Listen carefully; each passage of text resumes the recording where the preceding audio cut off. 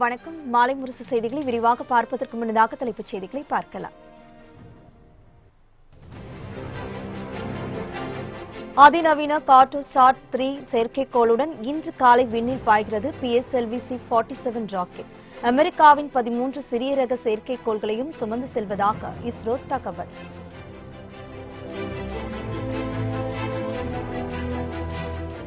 அரசியல் பரபரப்புக்கு இடையே இன்று காலை கூடுகிறது மகாராஷ்டிரா சட்டசபையின் முதல் கூட்டம்.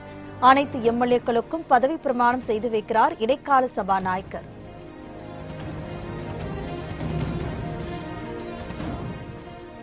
சத்ரபதி சிவாஜி கனவு கண்ட மகாராஷ்டிராவை மீண்டும் உருவாக்குவோம் என உத்தவ் தாக்கரே சூளுரை. பாஜக அரசு அரசியல் சட்டத்துடன் விளையாடுவதை இனியாவது நிறுத்த வேண்டும் என மு க ஸ்டாலின் ஆவேசம்.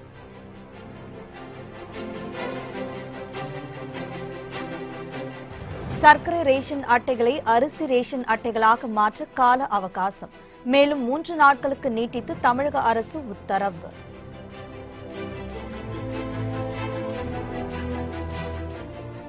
ஐஎன்எக்ஸ் மீடியா வழக்கில் ப. சிதம்பரம் தாக்கல் செய்த ஜாமீன் மனு. உச்சநீதிமன்றத்தில் இன்று மீண்டும் விசாரணை.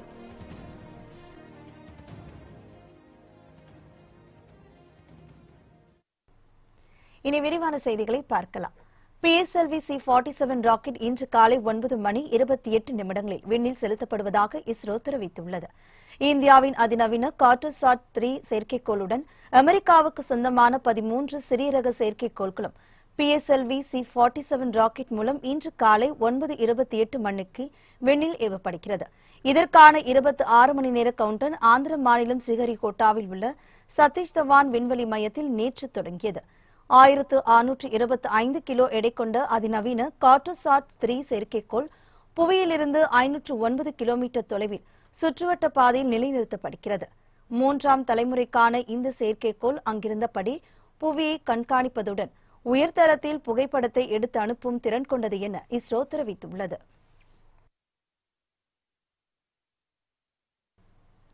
மகாராஷ்டிரா மாநில சட்டசபையின் முதல் கூட்டம் இன்று காலை எட்டு மணிக்கு கூடுகிறது. இடைக்கால சபாநாயகர் காளிதாஸ் குளம்கர் அனைத்து எம்எல்ஏக்களுக்கும் பதவி பிரமாணம் செய்து வைக்கிறார். மகாராஷ்டிராவில் ஆட்சி அமைப்பது யார் என்பது தொடர்பாக பாஜக சிவசேனா கட்சிகளிடையே கடும் போட்டி நிலவியது. இதனிடையே எம்எல்ஏக்கள் அனைவரும் தன்னிடம் இருப்பதாக கூறி தேசியவாத காங்கிரஸ் கட்சியின் மூத்த தலைவர் அஜித் பவார் பாஜக கூட்டணியில் சேர்ந்தார். இதனையடுத்து மகாராஷ்டிரா முதலமைச்சராக தேவேந்திர பட்னாவிஸும் துணை முதலமைச்சராக அஜித் பவாரும் பதவியேற்ற நிலையில் ஆட்சி அமைக்க பாஜகவுக்கு பெரும்பான்மை இல்லாததால் இருவரும் தனது பதவியை ராஜினாமா செய்தனர்.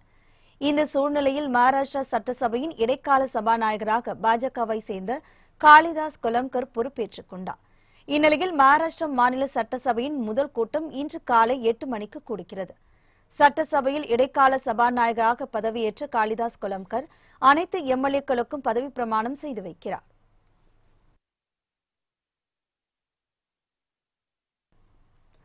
விவசாயிகளின் கண்ணீரை நாம் ஒன்றிணைந்து துடை தெரிவோம் என மகாராஷ்டிரா முதலமைச்சராக பதவியேற்க உள்ள உத்தவ் தாக்கரே தெரிவித்துள்ளார். சிவசேனா காங்கிரஸ் தேசியவாத காங்கிரஸ் எம்எல்ஏக்களின் ஆலோசனைக் கூட்டம் மும்பையில் நடைபெற்றது. இந்த கூட்டத்தில் மகா விகாஸ் அகாதி என்னும் புதிய கூட்டணியை மூன்று கட்சிகளும் இணைந்து அதிகாரப்பூர்வமாக அறிவித்தது. மகா விகாஸ் அகாதி கூட்டணியின் தலைவர் பதவிக்கும் மகாராஷ்டிரா முதலமைச்சர் பதவிக்கும் உத்தவ் தாக்கரே ஏகமனதாக தேர்வு செய்யப்பட்டார். இதனையடுத்து மூன்று கட்சி எம்எல்ஏக்கள் மத்தியில் பேசிய உத்தவ் தாக்கரே மக்கள் வழங்கியுள்ள பொறுப்பை தான் ஏற்றுக்கொள்வதாகும். மகாராஷ்டிராவை ஆளுவேன் என தான் ஒருபொழுதும் கனவு கண்டதில்லை என தெரிவித்தார். மாநிலத்தில் உள்ள விவசாயிகளின் கண்ணீரை நாம் ஒன்றிணைத்து துடைத்தெறிவோம் என்றும் சத்ரபதி சிவாஜி கனவு கண்ட மகாராஷ்டிராவை நாம் மீண்டும் உருவாக்கும் எனவும் அவர் குறிப்பிட்டார். மேலும் தேவேந்திர பட்னாவிஸ் எழுப்பிய அனைத்து கேள்விகளுக்கும் அச்சமில்லாமல் பதிலளிக்க தயார் என்றும் உத்தவ் தாக்கரே தெரிவித்தார்.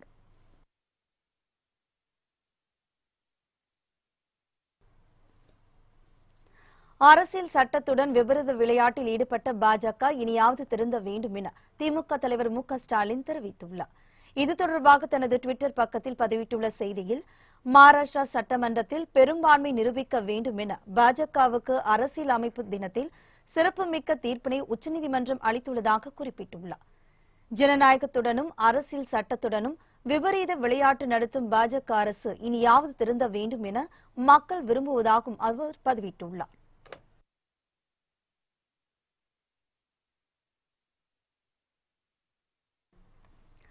உள்ளாட்சி தேர்தலில் எதிர்க்கட்சி வேட்பாளருக்கு வாக்களித்தால் அந்த பகுதியில் எந்த வளர்ச்சியும் இல்லாமல் போய்விடும் என கூட்டுறவுத்துறை அமைச்சர் செல்லூர் ராஜு தெரிவித்துள்ளார்.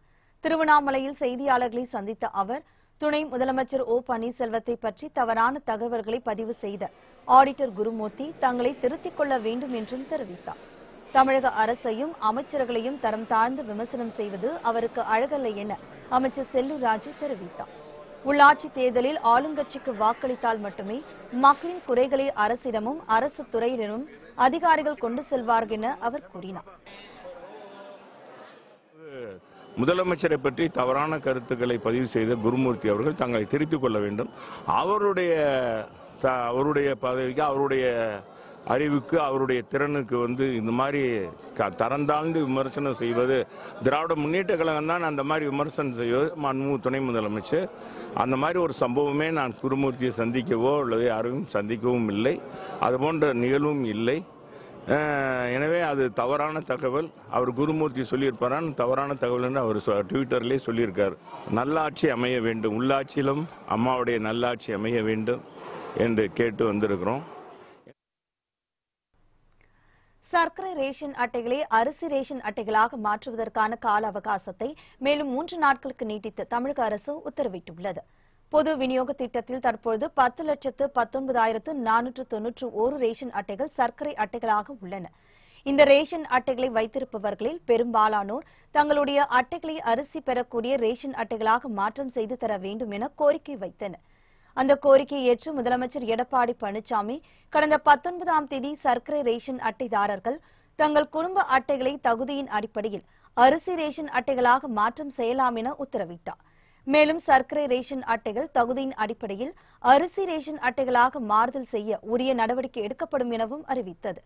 இந்நிலையில் இதற்காக விண்ணப்பிக்கும் கால அவகாசம் நேற்றுடன் முடிவடைந்த நிலையில் இன்னும் பெரும்பாலானோர் ரேஷன் அரிசி அட்டைகளாக மாற்ற கால அவகாசம் கோரியதால் இன்னும் மூன்று நாட்களுக்கு நீட்டித்து தமிழக அரசு உத்தரவிட்டது. அதன்படி வரும் இருபத்தி ஒன்பதாம் தேதி வரை தகுதியின் அடிப்படையில் அரிசி ரேஷன் அட்டைகளாக மாற்றம் செய்ய விண்ணப்பிக்கலாம் என தெரிவித்துள்ளது.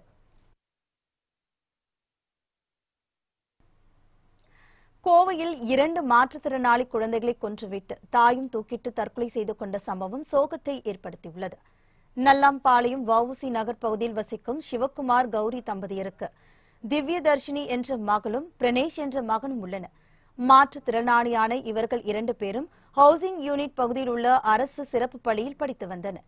இரண்டு குழந்தைகளையும் கௌரியின் தாயார் பேபி கவனித்து வந்தார். சிவகுமார் தினமும் குடித்துவிட்டு வீட்டில் தகராறு செய்வதை வாடிக்கையாக கொண்டிருந்தார்.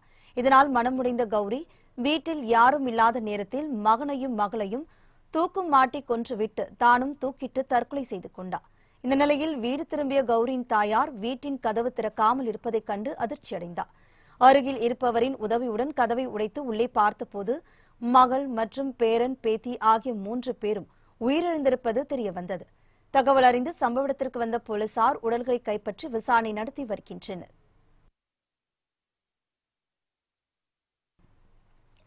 முன்னாள் மத்திய அமைச்சர் ப. சிதம்பரம் தாக்கல் செய்த ஜாமீன் மனு உச்சநீதிமன்றத்தில் இன்று விசாரணைக்கு வருகிறது. ஐனெக்ஸ் மீடியா முறைகேடு வழக்கில் ப. சிதம்பரத்தை சிபிஐ அதிகாரிகள் கைது செய்து டெல்லி திஹார் சிறையில் அடைத்தனர். இந்த வழக்கில் ப. சிதம்பரத்திற்கு ஜாமீன் கிடைத்த நிலையில் சட்டவிரோத பண பரிமாற்ற வழக்கில் அமலாக்கப் பிரிவு டெல்லி திஹார் சிறையிலேயே அவரை கைது செய்தது. இவ்வழக்கில் ஜாமீன் கோரி ப. சிதம்பரம் தாக்கல் செய்த மனுவை சிபிஐ சிறப்பு நீதிமன்றம் நிராகரித்தது. இதனையடுத்து டெல்லி உயர்நீதிமன்றத்தில் ப. சிதம்பரம் மேல்முறையீடு செய்த மனுவும் நிராகரிக்கப்பட்டது. இதனையடுத்து உச்சநீதிமன்றத்தில் ஜாமீன் கேரி ஜாமீன் கோரி அவர் மனு தாக்கல் செய்தார். இதற்கு கடும் எதிர்ப்பு தெரிவித்த அமலாக்கத்துறை சிறையிலேயே ப. சிதம்பரத்திடம் இரண்டு நாட்கள் விசாரணையை நடத்தியது. இந்நிலையில் சிதம்பரம் ஜாமீன் கோரி தாக்கல் செய்த மனு உச்சநீதிமன்றத்தில் இன்று விசாரணைக்கு வருகிறது. இந்நிலையில் திஹார் சிறையில் உள்ள முன்னாள் மத்திய அமைச்சர் ப. சிதம்பரத்தை ராகுல் காந்தி மற்றும் பிரியங்கா காந்தி இன்று சந்தித்து பேச உள்ளதாக தகவல் வெளியாகியுள்ளது.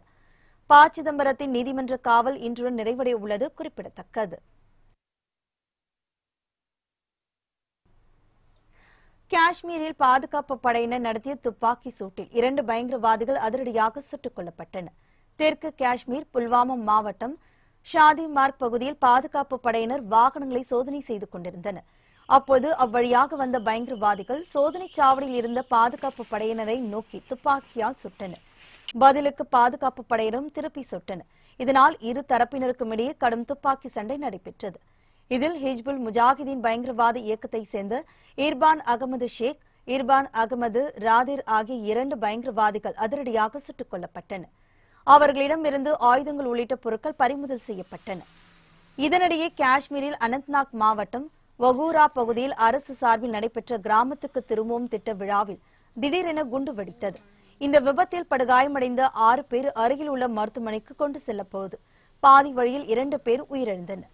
விசாரணையில் வேளாண் அதிகாரி சகூர் அகமது கிராம பஞ்சாயத்து தலைவர் பீர் சையது ரஃபீக் என்பது தெரியவந்தது. மற்ற நான்கு பேரும் மருத்துவமனையில் அனுமதிக்கப்பட்டுள்ளனர். வெடிகுண்டு வைத்தது தொடர்பாக போலீசார் விசாரித்து வருகின்றனர். இதேபோல் ஸ்ரீநகர் ஹசரத் பால் பகுதியில் உள்ள மார்க்கெட்டில் குண்டுவெடிப்பு நிகழ்ந்தது. இதில் மூன்று பேர் காயமடைந்தனர். போலீசார் நடத்திய முதல்கட்ட விசாரணையில் குறைந்த சக்தி கொண்ட வெடிகுண்டு என்பது தெரியவந்துள்ளது.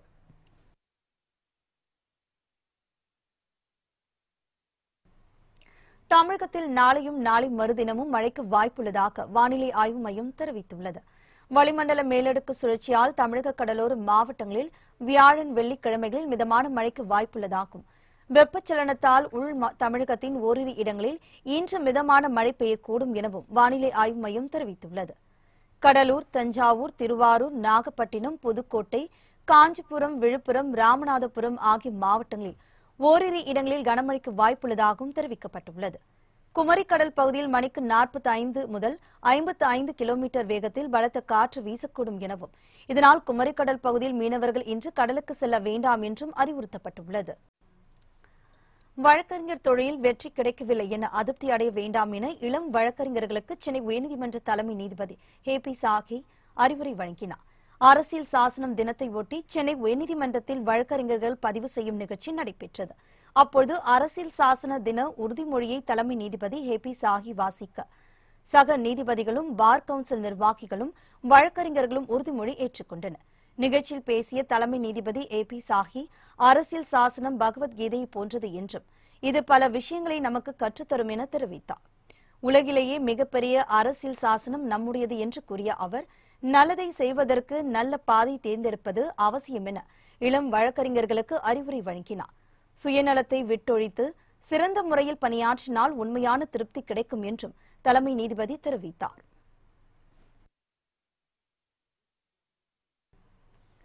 ராமேஸ்வரம் அருகே கடலில் தத்தளித்த மீனவர்களை காப்பாற்றி சக மீனவர்களுக்கு ஆட்சியர் பாராட்டுகளை தெரிவித்துள்ளார்.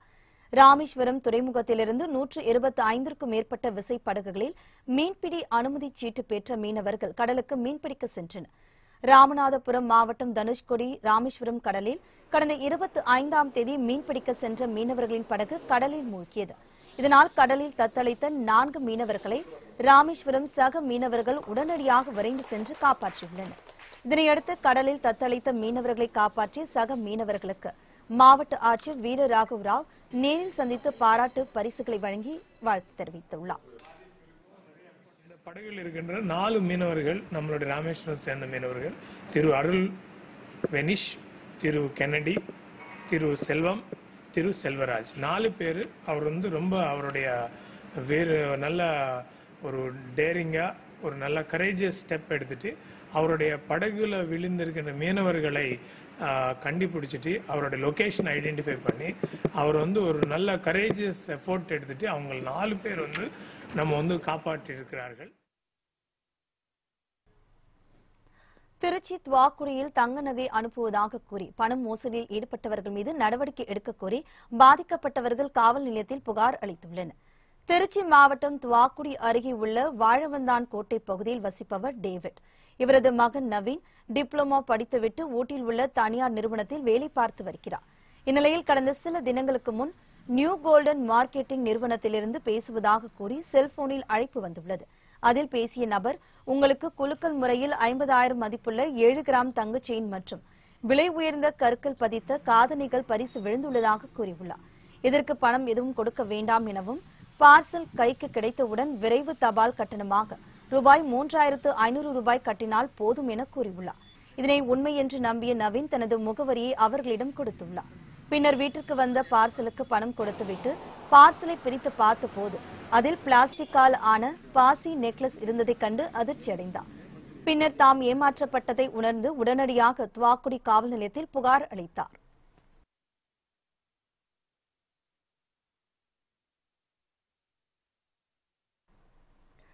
ஓசூரில் ஏழு மாத குறை பிரசவத்தில் பிறந்த குழந்தைக்கு தீவிர சிகிச்சை அளித்து காப்பாற்றிய அரசு மருத்துவர்களுக்கு மலை கிராம தம்பதியினர் நன்றி தெரிவித்துள்ளனர். கிருஷ்ணகிரி மாவட்டம் ஓசூர் அடுத்த மலை கிராமமான பெட்ட முகிலாலம் கிராமத்தை சேர்ந்தவர் பசப்பா இவரது மனைவி மாதேவி. இவர்களுக்கு திருமணமாகி சுமார் பதினைந்து ஆண்டுகளான நிலையில் ஆறு வயதில் பெண் குழந்தை உள்ளது. இந்நிலையில் மீண்டும் கருவுற்ற மாதேவி ஏழு மாதத்திலேயே சுக பிரசவத்தில் ஆண் குழந்தை பெற்றுள்ளார். ஆனால் குழந்தை எண்ணூற்று முப்பது கிராம் எடையுடன் பிறந்ததால் உயிருக்கு ஆபத்தான நிலையில் ஓசூர் அரசு மருத்துவமனையின் தீவிர சிகிச்சை பிரிவில் அனுமதிக்கப்பட்டு சிகிச்சை பெற்று வந்தது. அரசு மருத்துவர்களின் தொடர் சிகிச்சையால் தற்பொழுது குழந்தையின் எடை ஆயிரத்து நூற்று அறுபது கிலோ கிராமாக அதிகரித்து நலமுடன் உள்ளது. இதனால் குழந்தையின் பெற்றோர் அரசு மருத்துவர்களுக்கு நன்றிகளை தெரிவித்துள்ளனர்.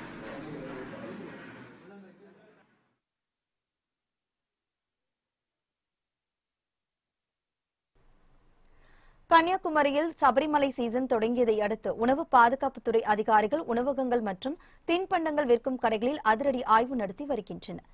கன்னியாகுமரியில் சபரிமலை சீசன் தொடங்கியதை அடுத்து தினமும் ஆயிரக்கணக்கான ஐயப்ப பக்தர்கள் மற்றும் சுற்றுலா பயணிகள் வருகை தருகின்றனர்.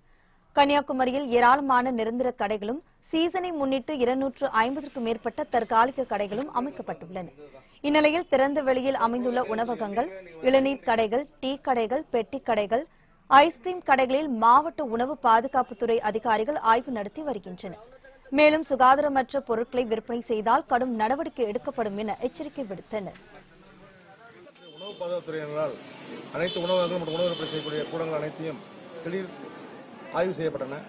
ஆய்வின் பொழுது காலாவதியான பொருட்கள் மற்றும் முறையாக புற்றமிடப்பட்டு லேபிள் இடப்படாத பொருட்கள் மற்றும் திறந்தநிலை விற்பனை செய்யப்பட்ட பொருட்கள் அனைத்தும் பறிமுதல் செய்து அளிக்கப்பட்டன. மேலும் விற்பனையாளர்கள் அனைவரும் திறந்த எந்த விதமான உணவுப் பொருளை வைத்து விற்பனை செய்யக்கூடாது. மற்றும் தோசை மற்றும் பரோட்டா சப்பாத்தி முதலில் போட பயன்படுத்தப்படும் தோசை கற்கள் மற்றும் அடுப்புகளை திறந்த நிலையில் வெளிப்புறமாக வைத்து போடப்படக்கூடாது. முறையாக தடுப்பிட வேண்டும் என்று அவர்களுக்கு உணவு பாதுகாப்பு தரநிலை சட்டம் இரண்டாயிரத்தி ஆறின் கீழ் நோட்டீஸ் அளிக்கப்பட்டுள்ளது. கமுதி அருகே ஏற்பட்ட சாலை விபத்தில் இருவர் சம்பவ இடத்திலே பலியான சம்பவம் சோகத்தை ஏற்படுத்தியுள்ளது. ராமநாதபுரம் மாவட்டம் கமுதி அடுத்த வழிமரச்சான் என்ற இடத்தில் இருசக்கர வாகனத்தில் சென்ற ஈஸ்வரன் சோலைராஜ் சத்யா ஆகியோர் நிலைத்தடுமாறி கீழே விழுந்துள்ளனர். இதில் ஈஸ்வரன் சோலைராஜ் ஆகியோர் சம்பவ இடத்திலேயே பலியாக்கினர். சத்யா என்பவர் பலத்த காயமடைந்து கமுதி அரசு மருத்துவமனையில் அனுமதிக்கப்பட்டு மேல் சிகிச்சைக்காக மதுரை அரசு மருத்துவமனையில் அனுமதிக்கப்பட்டுள்ளார். மேலும் இந்த விபத்து குறித்து அபிராமம் போலீசார் வழக்கு பதிவு செய்து விசாரணை நடத்தி வருகின்றனர். இதேபோல் சேலம் மாவட்டம் காமலாபுரம் அருகே வந்த தனியார் பேருந்தின் பின்பக்க டயர் வெடித்து விபத்துக்குள்ளானது. இந்த விபத்தில் பேருந்தில் பயணம் செய்த தும்பிப்பாடியை சேர்ந்த சத்யா மற்றும் அவரது தாயார் சந்திரா உள்பட மூன்று பயணிகள் படுகாயமடைந்தனர். பின்னர் அவர்களை மீட்டு ஓமலூர் அரசு மருத்துவமனையில் சிகிச்சைக்காக அனுமதித்தனர். மேலும் இதுகுறித்து ஓமலூர் காவல் நிலையத்தில் வழக்கு பதிவு செய்து விசாரணை நடத்தி வருகின்றனர்.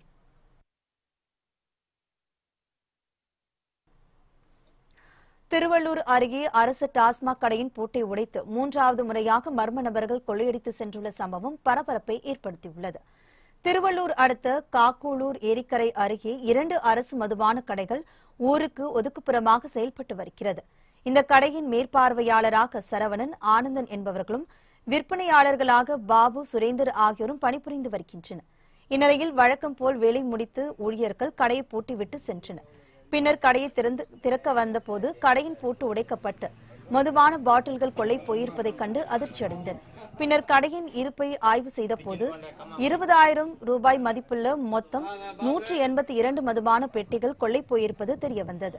இதுகுறித்து உயர் அதிகாரிகளுக்கும் போலீசாருக்கும் தகவல் கொடுக்கப்பட்டதை அடுத்து சம்பவ இடத்திற்கு வந்து விசாரணை நடத்தினர். ஏற்கனவே இரண்டு முறை இதே கடைகளில் மர்ம நபர்கள் திருடி சென்றுள்ளது குறிப்பிடத்தக்கது.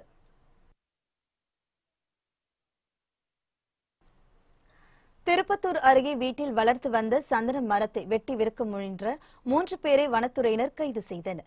சிவகங்கை மாவட்டம் திருப்பத்தூர் அருகே நெற்குப்பையை சேர்ந்த பெரியண்ணன் என்பவர் தனது வீட்டு தோட்டத்தில் சந்தன மரம் வளர்த்து வந்துள்ளார். இந்த மரத்தை மர்ம நபர்கள் வெட்டி கடத்தியுள்ளதைக் கண்டு பெரியண்ணன் நெற்குப்பை காவல் நிலையத்தில் புகார் அளித்துள்ளார். தகவல் அறிந்த போலீசார் ரோந்து சென்றனர். அப்பொழுது சந்தேகிக்கப்படும்படியாக சென்ற காரை நிறுத்தி சோதனையிட்டதில் சந்தன மர பட்டைகள் ரம்பம் கோடாரி ஆகவே இருந்துள்ளது. பின்னர் அவர்களிடம் நடத்திய விசாரணையில் அவர்கள் திண்டுக்கல் மாவட்டம் அயலூரை சேர்ந்த ரமேஷ் வெங்கனூரை சேர்ந்த சங்கிலி என்ற சந்துரு முடக்கப்பட்டியை சேர்ந்த சின்னத்தம்பி என சிவா என தெரிய வந்துள்ளது இதனையடுத்து மூன்று பேரையும் வனசரக அலுவலர் மதிவாணன் கைது செய்தார்.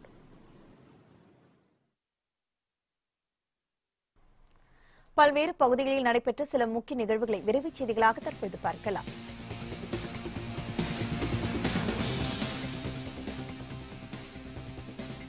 சென்னை குரோம்பேட்டை அரசு மருத்துவமனையில் மக்கள் நல்வாழ்வு மற்றும் குடும்ப நலத்துறை அமைச்சர் விஜயபாஸ்கர் திடீர் ஆய்வு நடத்தினார். இதனையடுத்து அவரை சிகிச்சை பிரிவு பிரசவ பிரிவு பிரசவித்த பின் கவனிப்பு பிரிவு ஆகியவற்றை பார்வையிட்டு மருத்துவமனையில் அனுமதிக்கப்பட்டுள்ள கர்ப்பிணி பெண்களிடம் நலம் விசாரித்தார். பின்னர் பிரசவித்த தாய்மார்களுக்கு வழங்கக்கூடிய அம்மா குழந்தைகள் நலப்பரிசு பெட்டகம் சரியான முறையில் கிடைக்கிறதா என தாய்மார்களிடம் கேட்டு உறுதி செய்தார். கடலூர் மாவட்டம் சிதம்பரம் முத்துமாணிக்க நாடார் தெருவில் தனியார் நிறுவனத்தின் செல்போன் டவர் அமைக்க பொதுமக்கள் எதிர்ப்பு தெரிவித்துள்ளனர். இந்த செல்போன் டவரால் கேன்சர் நோய் மற்றும் பல நோய்கள் பரவுவதால் எங்கள் தெருவில் செல்போன் டவர் அமைக்கக்கூடாது என தெரிவித்துள்ளனர். பின்னர் சாலை மறியலில் ஈடுபட முயன்ற பொதுமக்கள் காவல்துறையினர் சமாதானப்படுத்தி அனுப்பி வைத்தனர்.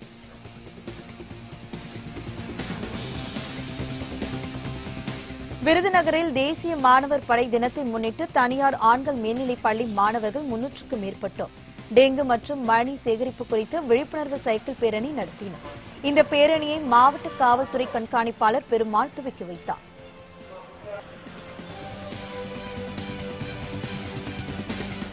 நாகை மாவட்டம் சீர்காழியை அடுத்த சேத்தூர் கிராமத்தை சேர்ந்தவர் கலைச்செல்வன். இவர் சீர்காழியில் உள்ள தனியார் கொரியர் நிறுவனத்தில் மேற்பார்வையாளராக பணிபுரிந்து வருகிறார். இவர் கடந்த சில நாட்களாக கொரியர் நிறுவனத்தின் மூலம் டெலிவரி செய்யப்படும் பொருட்களுக்கு கொடுக்கப்படும் ரொக்கப்பணம் மூன்று லட்சம் ரூபாய் வரை கையாடல் செய்ததால் மேலாளர் கொடுத்த புகாரின் பேரில் போலீசார் கைது செய்து விசாரணை நடத்தி வருகின்றனர்.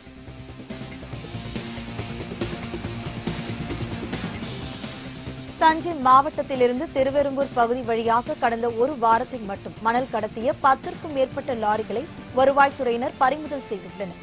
லாரிகளை மடக்கி பிடிக்கும் போது வருவாய்த்துறை அதிகாரிகள் மீதும் போலீசார் மீதும் லாரி ஏற்றி விபத்து ஏற்படுத்துவதால் அச்சம் அடைந்துள்ளனர் எனவே சம்பந்தப்பட்ட அதிகாரிகள் மணல் கடத்தலை தடுப்பதற்கு உரிய நடவடிக்கை எடுக்க வேண்டும் என பொதுமக்களும் சமூக ஆர்வலர்களும் கோரிக்கை விடுத்து உள்ளனர்.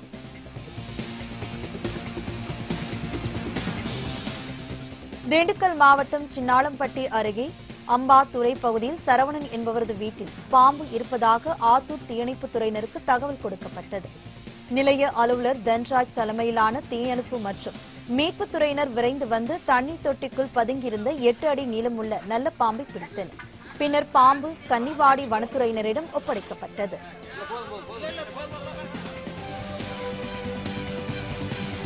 கோவை மாவட்டம் வால்பாறை பகுதியில் காட்டு யானைகள் ஆங்காங்கே கூட்டம் கூட்டமாக சுற்றி திரிந்து வருகின்றன. மேலும் இரவு நேரங்களில் மக்கள் குடியிருப்புக்குள் புகுந்தும். அங்குள்ள ரேஷன் கடை மளிகை கடை சத்துணவு கூடம் ஆகியவற்றை நாசம் செய்து வருகிறது.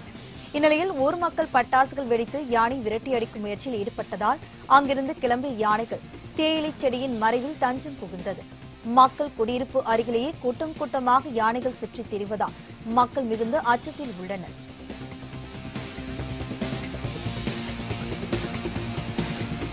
சென்னை பூந்தமல்லி அடுத்த நசரத் பேட்டை பகுதியில் சாலை கடக்க முயன்ற முனிராஜ் ராஜப்பா என்ற முதியவர் மீது தனியார் பேருந்து விபத்துக்குள்ளானது. இந்த விபத்தில் முனிராஜ் ராஜப்பா தூக்கி வீசப்பட்டு சம்பவ இடத்திலேயே உயிரிழந்தார்.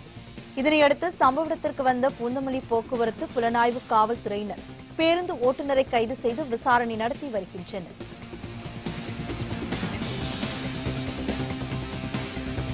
கடலூர் மாவட்டம் வேப்பூர் அடுத்த நல்லூர் கிராமத்தை ஓட்டிய கிராமத்தை ஒட்டிய ஏரி பகுதியில் உள்ள மரத்தில் தூக்கில் தொங்கிய நிலையில் இருந்த சடலத்தை பார்த்த அப்பகுதி மக்கள் வேப்பூர் போலீசாருக்கு தகவல் அளித்தனர்.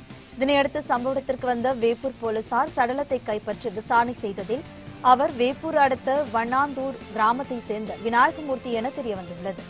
பின்னர் விநாயகமூர்த்தி உடலை உடற்கூறு ஆய்விற்காக விருதாச்சலம் அரசு மருத்துவமனைக்கு அனுப்பி வைத்து விசாரணை நடத்தி வருகின்றனர்.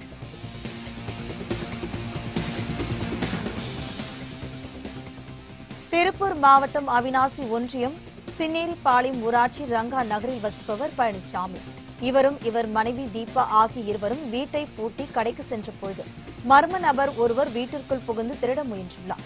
மர்ம நபர் திருடுவதை அறிந்து அதே பகுதியைச் சேர்ந்த நபர் ஒருவர் சத்தம் போட்டு மர்ம நபரை பிடிக்க முயன்றுள்ளார். ஆனால் அதற்குள் மர்ம நபர் தப்பி சென்றுள்ளார். இந்த சம்பவம் அப்பகுதியில் பரபரப்பை ஏற்படுத்தியுள்ளது.